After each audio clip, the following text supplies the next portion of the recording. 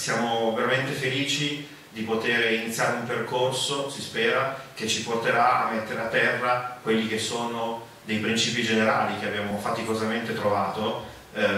in questo scambio che è durato durante l'anno della pandemia nel 2020 e che ha prodotto il manifesto che tutti conoscete, un manifesto che mi piace chiamarlo così, un po' la carta costituzionale, tra virgolette, eh, che ci siamo dati, dove sono contenuti tantissimi principi in cui tutti quanti ci riconosciamo eh, ciascuno secondo le proprie specificità e peculiarità, ciascuno secondo le proprie sensibilità, le proprie aspettative e che ora eh, appunto si aspetta di, di, dover entrare in fase attuativa. Eh, questa giornata è stata organizzata eh, come dire, pensando anche proprio a voi e alle idee che avete portato nel tempo ed è anche un momento in cui appunto vogliamo fare in modo che questi stimoli possano eh, avere, essere presentati. Essere presentati a che scopo? Eh, allo scopo appunto di vedere, eh, di offrire eh, a chi poi eh, dovrà avere la responsabilità, l'onere e l'onore di appunto tradurre questi stimoli in operatività, che sono appunto le amministrazioni, poter avere degli stimoli in più da dare a loro, da offrire loro per poter eventualmente appunto eh, andare nella direzione della messa a terra secondo quello che appunto verrà fuori questa mattina.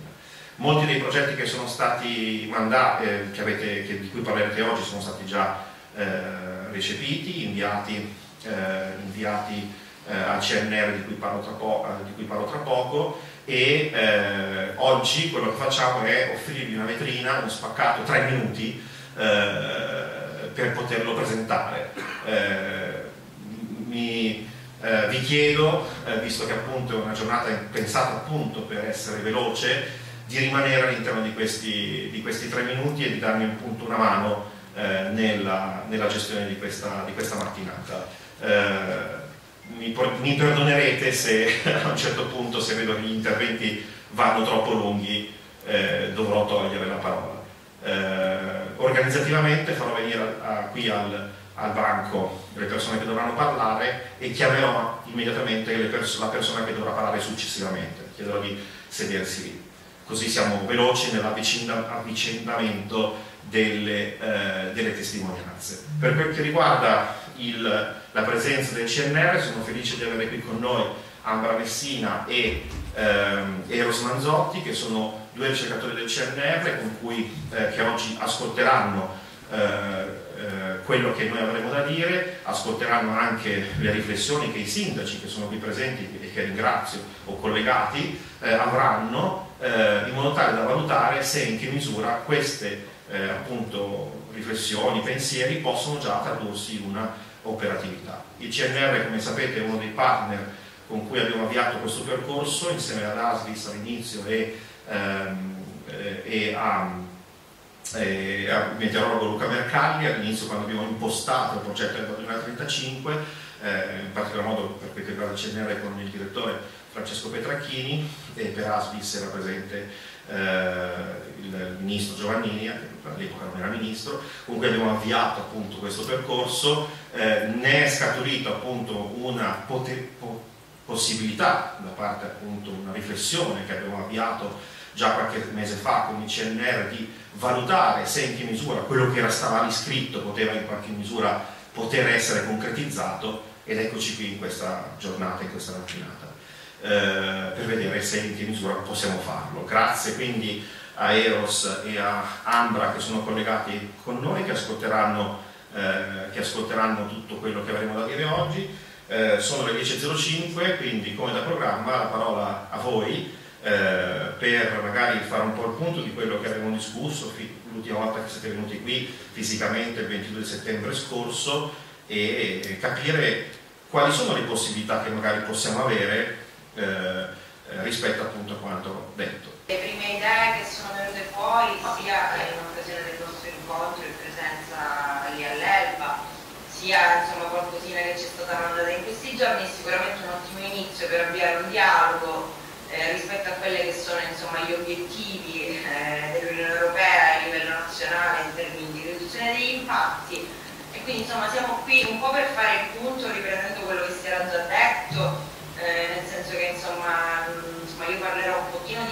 siamo, chi è l'Istituto sull'inquinamento atmosferico del CNR brevemente, eh, un po' per dare un'idea di quello che facciamo. Eh, e poi da lì, insomma, questa è un'ulteriore un occasione di, di, dire, di, presentazione di quello che si fa. Eh, per noi è un momento di insomma, raccolta di quelle che sono eh, le idee che provengono dal territorio, sia a livello di amministrazioni, sia appunto stakeholder locali, le categorie,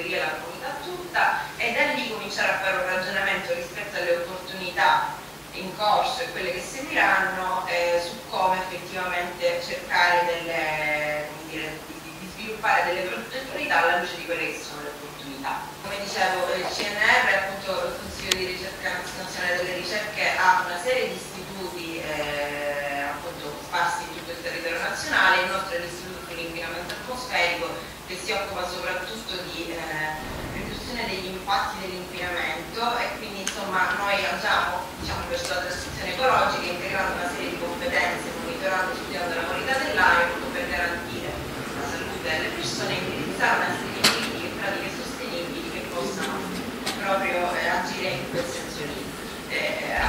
abbiamo una serie di sedi in tutta Italia, non entrerò troppo nel merito, però chiaramente per chi volesse approfondire potete trovare sito eh, utilizzando una serie di laboratori, strumentazioni e stazioni di rilevamento, appunto una serie di chiaramente studi, i nostri gruppi di ricerca sviluppano mh, mm, appunto una serie di strategie per, proprio per ridurre gli impatti, cercando poi di appunto mettere a disposizione dei decisori politici e degli operatori del settore produttivo il percorso più efficiente possibile in termini di riduzione degli impatti. Eh, appunto a proposito di isole, questo un po' per rendere l'idea, entrare un po' nel merito di quello che si fa sulle isole, eh, ogni anno insieme a Lega Ambiente noi eh, elaboriamo un report che è appunto il report Isole Sostenibili che appunto viene sviluppato all'interno di questo osservatorio che è stato creato, osservatorio Isole Sostenibili, eh, che vuole contribuire a comprendere le sfide e facilitare un cambiamento per rendere le isole minori un vero e proprio laboratorio di innovazione ambientale eh, quindi guardiamo alle innovazioni in corso nel mondo, soprattutto nel Mediterraneo in Europa e quindi analizzando quelle che sono le buone pratiche che possono essere in qualche modo eh, prese un po' da esempio e replicate. Eh, appunto ogni anno vengono analizzate in questo momento 27 isole minori abitate attraverso numeri, analisi e schede specifiche, ma anche attraverso le buone pratiche che ogni isola ehm, porta avanti, quindi cercando un pochino di dare valore a questo gli obiettivi di innovazione che in questo momento noi eh, cerchiamo di eh, insomma, indirizzare sono appunto l'energia, i rifiuti, la mobilità, il potabile, la depurazione, insomma le opportunità e i limiti relativi a questi, a questi temi, quindi l'obiettivo dal punto di vista energetico è sicuramente quello di incrementare la produzione di energia da fonti rinnovabili, accompagnandola con interventi di efficienza energetica, e a proposito di rifiuti, chiaramente la chiusura del ciclo dei materiali attraverso la raccolta differenziata, il riutilizzo eh, dell'organico, la valorizzazione dell'organico e così via. Mobilità sostenibile, quindi investire proprio nelle innovazioni e nelle integrazioni che sono oggi possibili tra mobilità collettiva, sharing, ciclabile e pedonale, in tutte insomma, le sue forme, eh, l'acqua potabile, l'approvvigionamento e la gestione delle risorse idriche che sicuramente deve puntare a essere più virtuoso riducendo le perdite e gli sprechi, installando impianti di desalinizzazione dell'acqua e così via. appunto realizzando un modello virtuoso di gestione delle risorse idriche, recuperando e depurando eh, attraverso depurazione e fitodepurazione dei reflui. Eh, questo è un esempio de delle schede che appunto abbiamo proposto nel nostro report e in questo caso proprio quella dell'isola d'Elba, quindi analizziamo la popolazione, la superficie, quindi insomma le informazioni di base, il numero di esercizi ricettivi e ricettivi, contributo di sbarco, aree protette, eh, poi appunto tutte le, le, tematiche che ho analizzato fino adesso, quindi appunto entrando un pochino nel merito di quella che è la situazione attuale rispetto a tutte le tematiche che, andiamo a analizzare, per poi nel tempo capire anche come cambiano questi valori e quali possono essere insomma, gli sviluppi ed eventualmente le progettualità da portare avanti nelle varie. Le sfide insomma le sappiamo un po' tutti, sarò un po' ripetitiva ma è importante ricordarlo. E quindi la prima è quella eh, della capacità di realizzare queste innovazioni in realtà complesse che insomma vivono grandi oscillazioni di flusso turistico e flusso turistico nei mesi estivi con consumi impatti che insomma vanno sicuramente gestiti nel modo migliore, la seconda sfida è quella di portare avanti delle innovazioni in territori che come tutti sappiamo sono ipervincolati dal punto di vista ambientale e paesaggistico e quindi come dire, mantenere quello che è il, eh, insomma, la conservazione della natura però portando avanti delle innovazioni che possono insomma, preservare la natura ma al contempo guardando al futuro un po' qui brevemente un, un, esempio di progettualità che si stanno portando avanti nelle isole minori, in questo momento soprattutto nelle isole siciliane, quindi Favignana, Lipari, Vulcano, Liguria, Liguria, Ustica e Lampedusa, con una serie di opportunità di finanziamento che sono state eh, possibili grazie insomma, al Ministro della Transizione Ecologica, al Ministro dello Sviluppo Economico e anche ai progetti europei, in questo caso con Horizon. E appunto eh, quello che noi abbiamo fatto è stato supportare le isole minori eh, che ho appena citato nello sviluppo, nella scrittura e nello sviluppo quindi delle progettualità che appunto attraverso questi bandi a cui, a cui i comuni hanno partecipato e insomma fondamentalmente le tematiche sono state soprattutto quelle dell'efficienza energetica, della mobilità sostenibile e dell'adattamento ai cambiamenti climatici in senso più ampio si è puntato soprattutto, si sta puntando ad aumentare la, la quota di fonti di energia rinnovabile attraverso l'efficientamento energetico e quindi attraverso pompe di calore, illuminanti a LED, sistemi di monitoraggio dei consumi, fotovoltaico, poi anche la riduzione delle perdite sulla rete idrica che è un problema insomma penso abbastanza comune nelle isole e quindi attraverso l'efficientamento dei sistemi di monitoraggio, poi anche per quanto riguarda la mobilità elettrica, minibus e barche turistiche elettriche, anche lì un sistema di monitoraggio ehm, eh, do, giusto per rendere l'idea, in questo momento proprio recentemente abbiamo firmato un accordo con ANCIM, eh, perché insomma poi gli obiettivi sono comuni, ANCIM penso insomma sappiate tutti, l'Associazione Nazionale dei Comuni delle Isole Minori, eh, appunto mh, questo accordo di cooperazione sicuramente l'obiettivo è quello di scambiare idee su come implementare le buone pratiche e come dire, collaborare attivamente rispetto a quelle che saranno le nuove opportunità e assistere un po' il percorso delle isole in questo senso. Eh, le opportunità nazionali, diciamo, queste sono già sono in corso ma insomma ormai, ormai concluse, eh, le prime che citerò, quindi appunto quello che mh, ha reso possibile lo sviluppo, insomma l'avvio di questi progetti che ho appena citato, quindi quelli dei fondi del Ministero dello Sviluppo Economico, quelli del Ministero della Transizione Ecologica, recentemente un fondo per gli investimenti isole minori eh, che appunto è, a finanziare progetti di sviluppo infrastrutturale e di qualificazione del territorio proprio nell'ambito del Green Deal europeo eh, e quindi insomma sono, sono, delle opportunità che già sono state messe in campo e che appunto ha, reso possibile eh, il coinvolgimento di una serie di comuni delle isole nel, insomma, nel partecipare a questi bandi e quindi nel,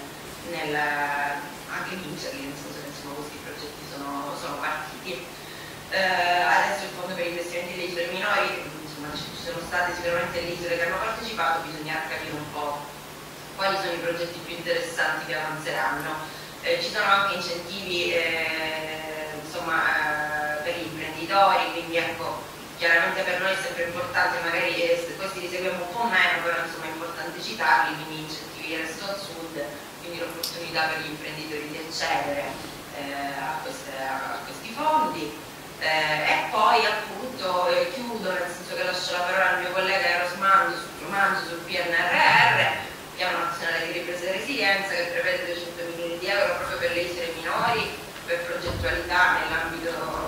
del Green Deal europeo. E, ehm, e quindi appunto una serie di investimenti che saranno previsti per la transizione ecologica e l'economia circolare nelle isole, considerate appunto anche qui in questo caso un vero e proprio laboratorio proprio perché hanno una, delle caratteristiche che potrebbero effettivamente garantire nel futuro con molto impegno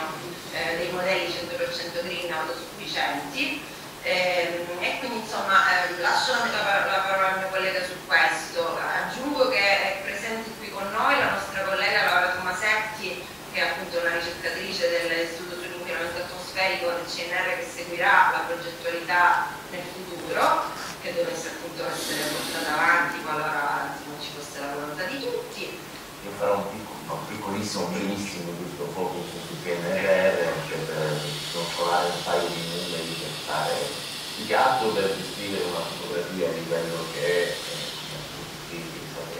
l'attività sanitaria in questo momento. Diciamo, questa grossa, questa grossa opportunità di iniezione di finanziamenti di denaro che non succedeva in questo paese da, da decenni e, e, che in particolare in territori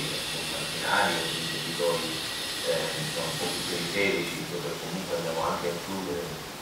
le isole minori eh, de fatto sono, sono, una grossa, sono, una grossa, opportunità. Eh,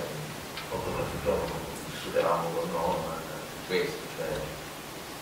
di dire che il PNRR è un treno che non, fondamentalmente non si può perdere, nel senso sarà, sarà l'ultimo, un'iniezione di denaro del genere non ci sarà per, i prossimi, per, il, per il prossimo futuro. E ci sono delle urgenze che vanno comunque a investire i nostri territori, dice i territori nazionali, in particolare o anche il sud del nostro sud d'Italia, quindi un'opportunità di sviluppo, un'opportunità di sviluppo eh, fondamentalmente co-partecipata, co-partecipata anche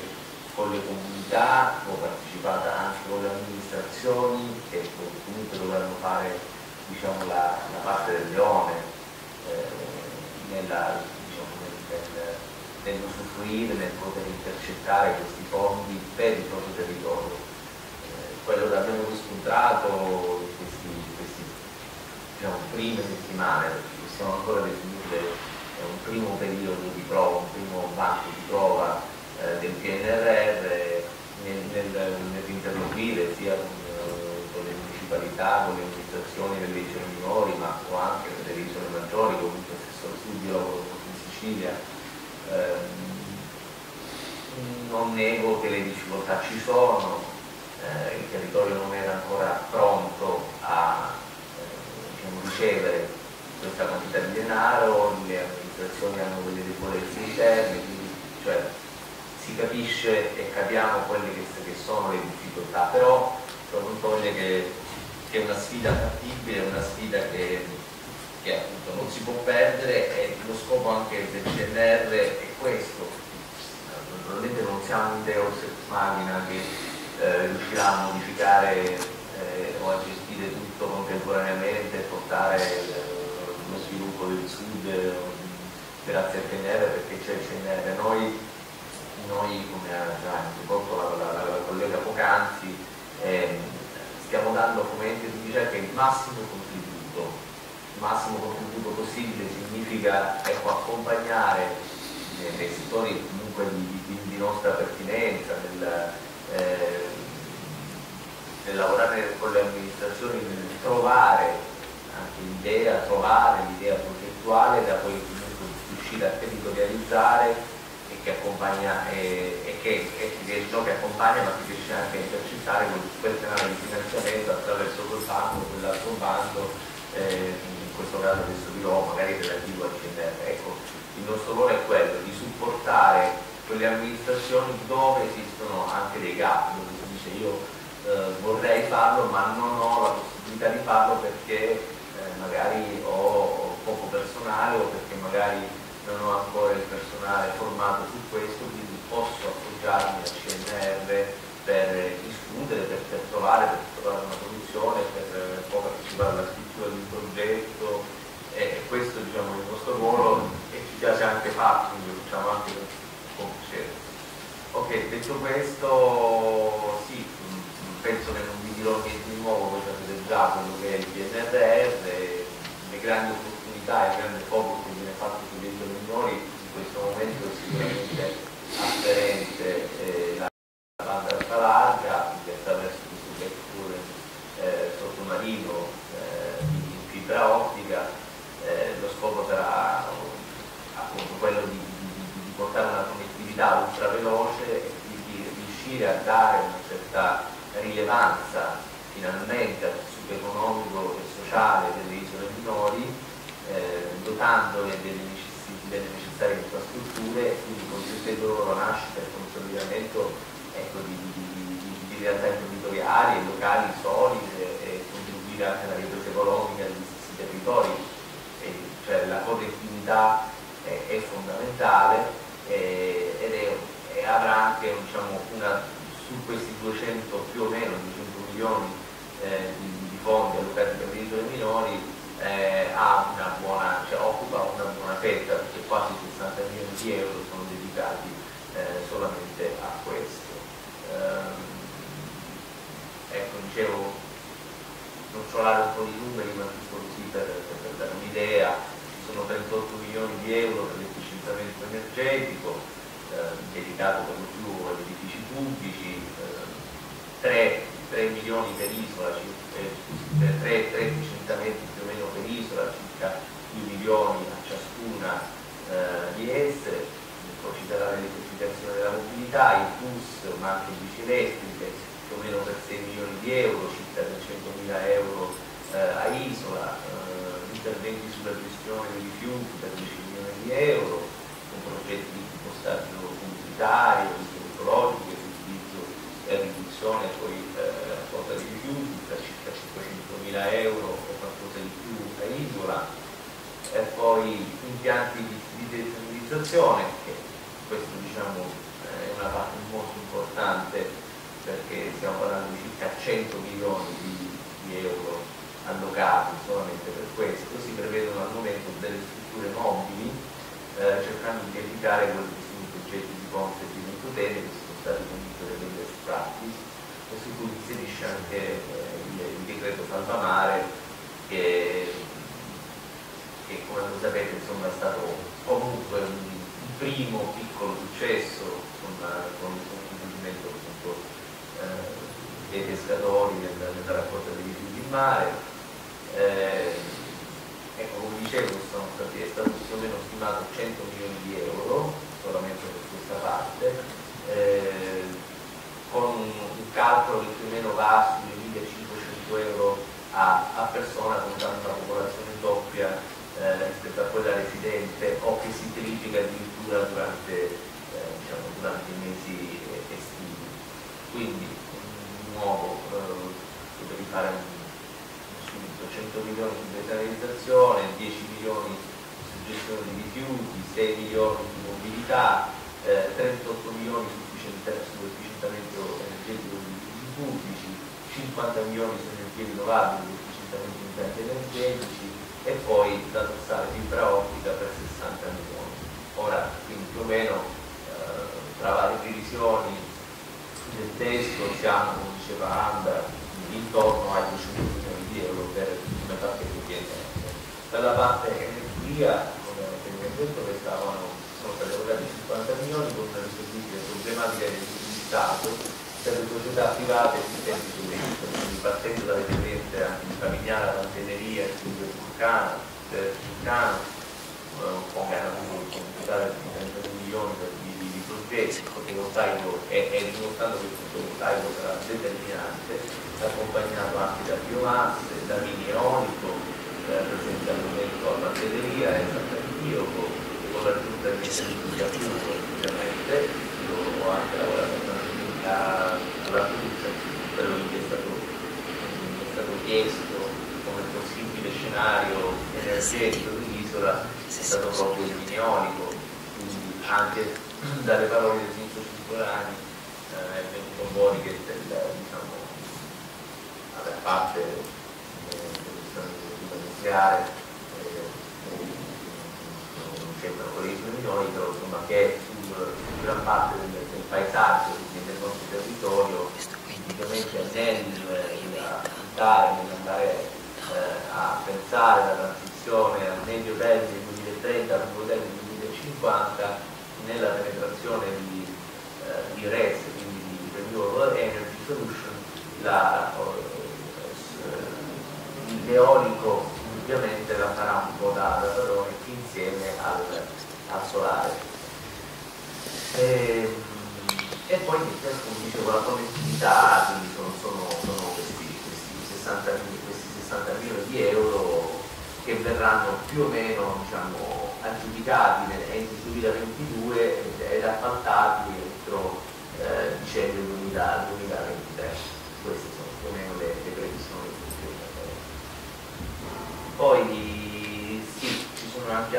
Opportunità europee, adesso è stata appena lanciata la seconda fase del progetto Horizon Nesoi, l'obiettivo è quello di finanziare per il progetto europeo Nesoi, sarà quello di finanziare 60 progetti di transizione energetica eh, di successo alle 2400 isole delle due abitate, naturalmente eh, ho parlato con i esponenti del consorzio, è bene che partecipino e che la partecipazione della, della quota italiana sia preponderante, sia importante. Già nella prima call eh, parecchie isole italiane hanno partecipato, credo anche EFTA ha partecipato già. Eh, e quindi la prima call è andata molto bene, eh, questa seconda call che ha una scadenza a gennaio del 2022 potrebbe essere anche un'altra un opportunità, si parla supporto a idee progettuali,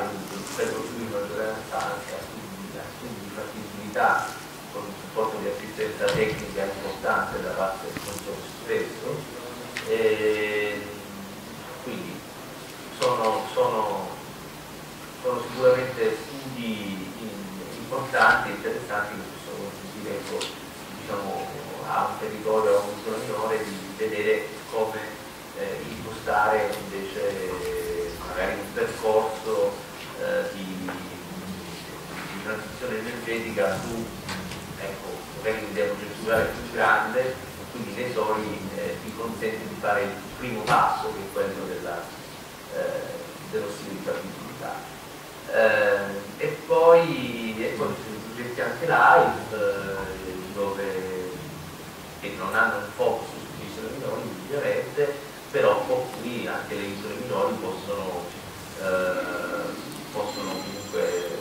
partecipare e possono tirare fuori delle, eh, ecco, delle opportunità di, di, di, progetti di sviluppo del importanti perché comunque il LIFE eh, sono progetti complessi, ben finanziati e molto attinenti a quello che è sicuramente il patrimonio paesaggistico, naturale delle, delle, delle isole Mi sembra di poter dire che insomma, eh, uno dei, dei, nodi, una delle questioni principali sia anche e soprattutto, oltre a quelli del finanziamento ovviamente, il portare delle progettualità che abbiano un senso, un significato, un'applicabilità, una fattibilità delle idee che possono appunto poter essere poi eh, perseguite e diventare appunto eh, cose concrete. Ed è anche un po' il senso della giornata di oggi, come vi dicevo, eh, che è appunto pensata per eh, rispondere un po' a questa esigenza, molto spesso appunto, in questo soprattutto da quello che ha detto anche eh, Eros Maso, la, la, la, il punto in questo periodo forse non è tanto eh, il finanziamento quanto appunto l'idea progettuale no? e, e anche la strutturazione interna delle amministrazioni volta a ottenere poi la concretizzazione di questa idea. Quindi noi oggi siamo qui appunto per cercare di eh, offrire, eh, di riflettere tutti assieme su quello che noi eh, abbiamo ipotizzato come firmatario del manifesto EVA 2035 eh, come progettualità e vedere magari insieme a voi, insieme a tutti, che cosa può essere eh,